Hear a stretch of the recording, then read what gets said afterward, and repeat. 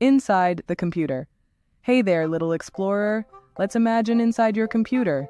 Inside your computer, there are some really important parts that you should know about. Central Processing Unit, CPU. This is like the computer's brain. It's super fast and does all the thinking and calculations. The CPU's speed is measured in hertz or gigahertz, GHz. Memory, RAM. RAM is like the computer's desk. The computer uses it to do its work. It's like having a bigger desk to work on if you have more RAM, so you can do more things at once without slowing down.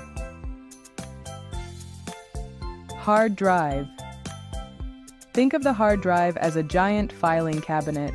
It's where the computer stores all its essential files like the operating system, programs, and your documents. Motherboard. The motherboard is like the computer's nervous system. It connects everything together, like the CPU, RAM, and hard drive. Power Supply Unit, PSU. This is like the computer's battery charger. It gives power to all the parts inside the computer. Graphics Processing Unit, GPU.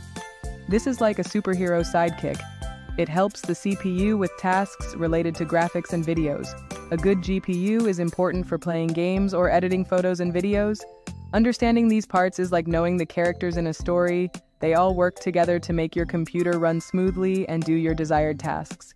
Is there anything specific you'd like to know more about or any questions about these computer parts? Get a paper, pen, or pencil and write them down. Let's keep the learning adventure going.